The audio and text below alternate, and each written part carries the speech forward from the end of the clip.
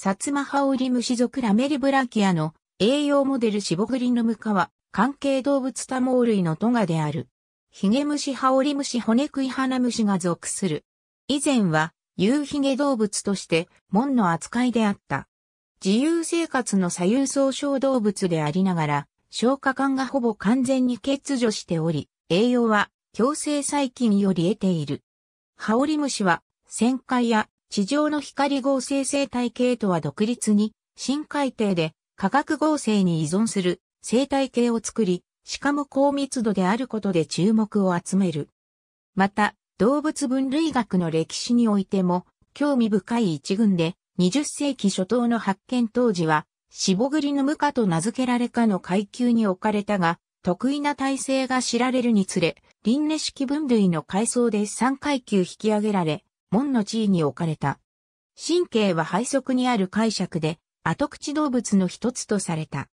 しかし、完全な体の発見と分子系統学の研究結果などで、関係動物の小グループであることが明らかになり、数十年を経て、当初の階級及び名称の死亡グリの無化に戻された。配服も逆に解釈されていたことが判明した。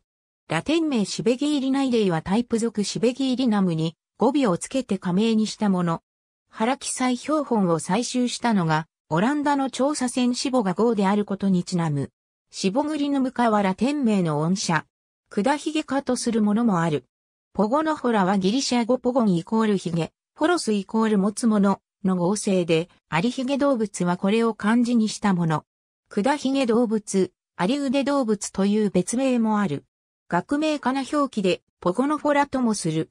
ヒゲムシ類、管ヒゲ類という名称をこのグループに当てる時点もあるが、ハオリムシ類の発見以後は、有ヒゲ動物の回区分としても使われるので注意が必要である。海産の細長い動物で、低性である。口も肛門も消化管一切が存在しない。普通に自由生活でありながら、このように消化管を一切持たない例は珍しい。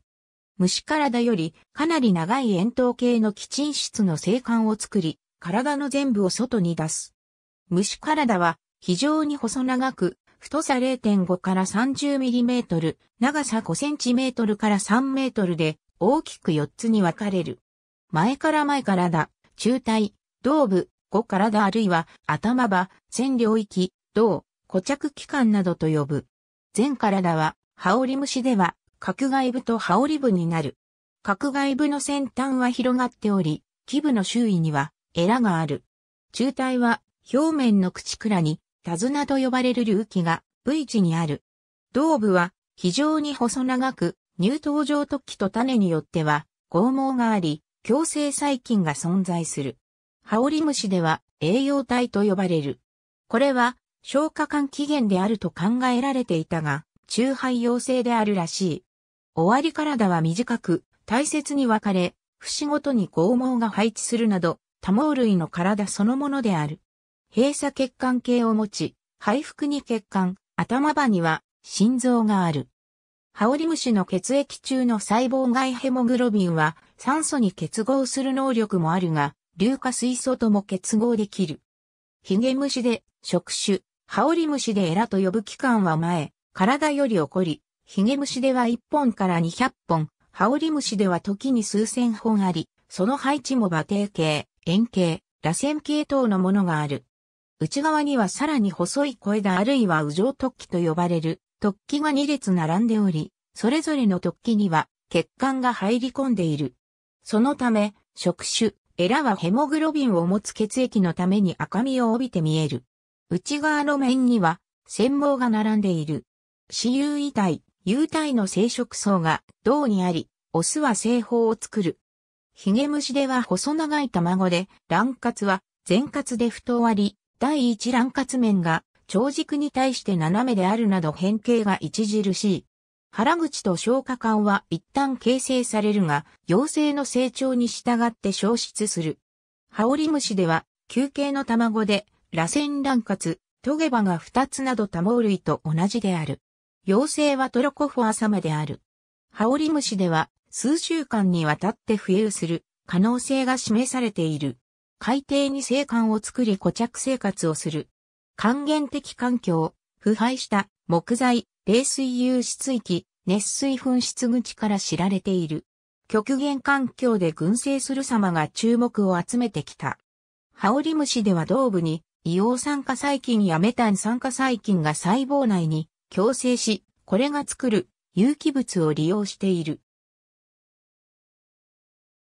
共生するガンマプロテオバクテリアは、卵の時には見出されず、環境中から取り込むと考えられている。細菌が使う硫化水素は、血液中のヘモグロビンと結合して運ばれることが知られている。以前に推測されていたようにエラから取り込まれるのではなく、堆積物中に埋まっている体幹部から取り込まれると考えられている。深海で固着生活をしておりまた細長く切れやすいため、標本の入手が困難で知られるようになったのも遅く、研究は曲折を経ている。この動物が知られるようになったのは20世紀に入ってからである。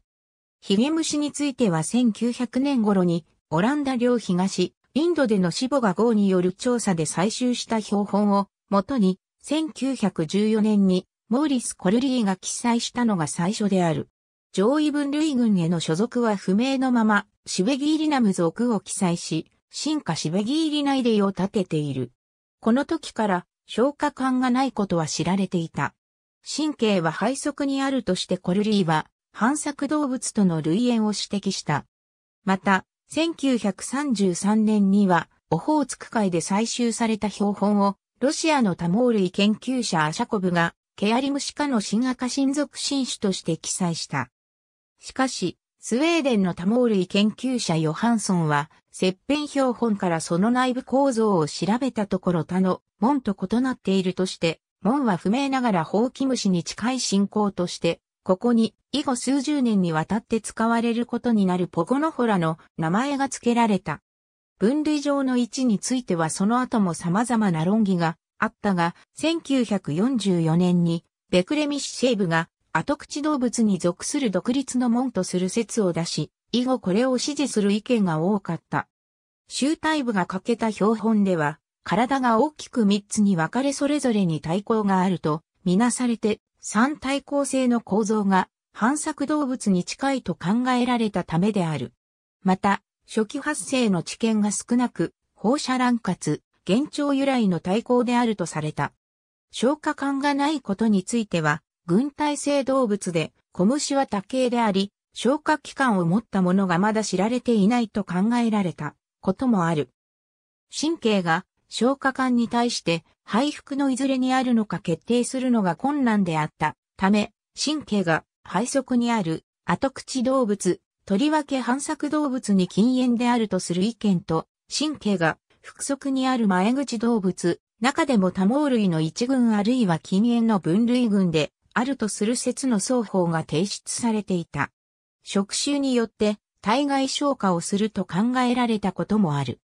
多数の触手を持つものでは、それらが並ぶことで作られる管の内側が消化管内部のような構造を作り、そこへデトリタスなどの微粒子を取り込み、消化して触手から吸収するという推測であった。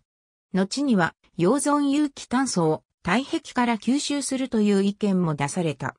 ところが、1964年に集体部が見つかってみると、ほぼ完全に多毛類の体であった。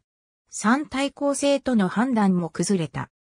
これを契機に、系統論議が再燃し、後口動物の一群との意見を保持する研究者もいれば、螺旋乱活、剛毛のある体節、腹側の神経であるとして前口動物の関係動物に近いものあるいは多毛類の中に含まれるべきものとの説も出るようになった。ヒゲムシの系統について意見がまとまらないまま20世紀も半ばを過ぎた頃、ハオリムシが知られるようになった。1969年、カリフォルニア沖の深海で発見されたものが記載され、さらにガラパゴス沖の深海の熱水交渉で多数生息することが1981年に報告され、熱水噴出口の周囲に輝く白い星管と赤いエラが目立つその姿は有名となった。これはしばらくは所属不明、名称不詳のままチューブアームと見たままの名で呼ばれた。ハオリムシは、ヒゲムシと共にありヒゲ動物とされることも、より関係動物に近いとして、ベスタメンティーフィラとして、独立の門とされることもあった。同部に、細胞内共生している細菌が発見され、独立栄養であることが明らかにされたことで、長い間の謎、自由生活でありながら、消化管が欠けている、この動物がどのように栄養を得ているかが明らかにされた。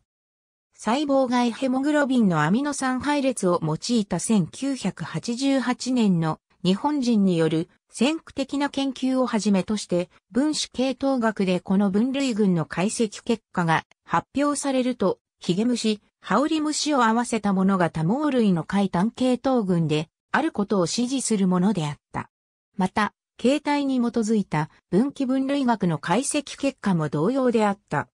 ポゴノホラと一時は独立の門にされたベスタメンティーフィラは、両者で合わせて単系統群であることから多毛類のトガとし、名称を記載当初のシベギーリ内で意図する意見が出されたのである。関係動物の中で綱の階級に置くなどの意見も出されたが、現在はトガにする意見が受け入れられている。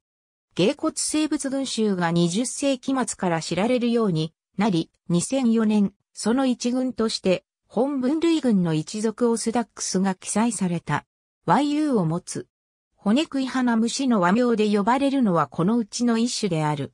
シボグリヌム科そのものの単系統性は様々な研究で一致している。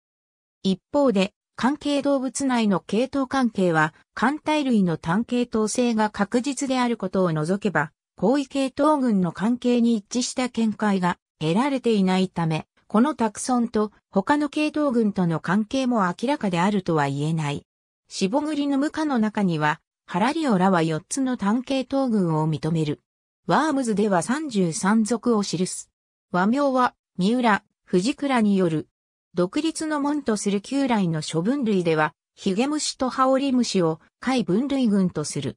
ヒゲムシは、現在の知見では、側系統群、ガラパゴスハオリムシは、大型化に伴って特殊化した羽織虫であるとされる。三浦、白山の例を示す。ありがとうございます。